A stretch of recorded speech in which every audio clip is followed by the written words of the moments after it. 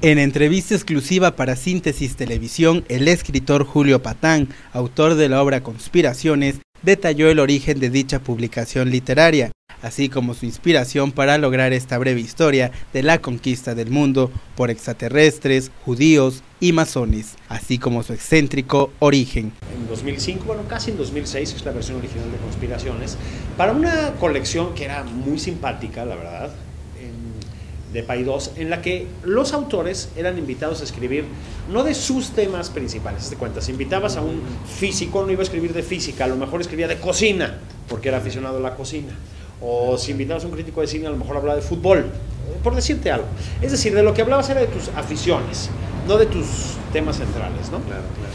Este, y Laura me invitó, y yo dije, inicialmente para hacer un libro sobre mafias, que me gustaba el tema, y en ese momento dije, no, conspiraciones.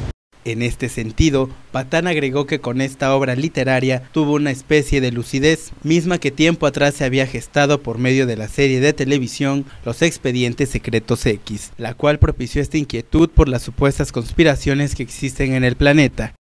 Sobre todo me gustaba esa idea de que los extraterrestres estuvieran a punto de conquistarnos, ¿no? Me pareció una idea muy simpática esa, ese, texto, digamos, común a casi toda la serie, eh, que nos decía que había un grupo de extraterrestres escondidos desde hace mucho tiempo y que pese a estar escondidos eran hiperpoderosos y controlaban prácticamente todos los aspectos de la realidad. Lo que me gustaba a mí es que a partir de una trama delirante de extraterrestres, lo que se empezaba a ver en la serie era la idea muy paranoica de que la realidad no es lo que nosotros pensamos que es la realidad. Es decir, que vivimos en una especie de puesta en escena.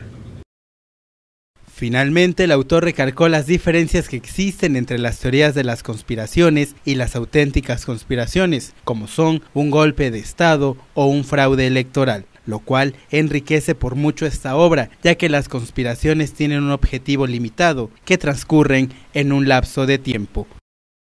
En México hay una creciente tendencia.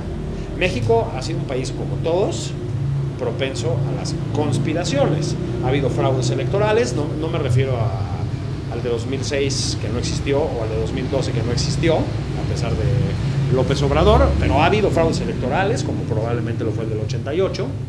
Este, eh, en, siglos pasados hubo levantamientos, intentos de golpes de Estado, etc.